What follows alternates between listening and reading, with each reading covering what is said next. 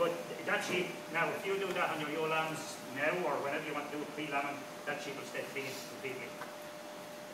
Um, so that's just what we would do. That's a slightly longer tail sheep, but that's uh, you get sheep with very little wool here. It's quite easy to do.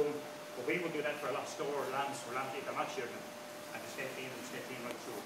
But you can see, you can actually see sheep uh, here. I've seen sheep with the wool where they get very dirty. And I've seen right here between the legs, and if you look at them, the way they put them, they're completely almost.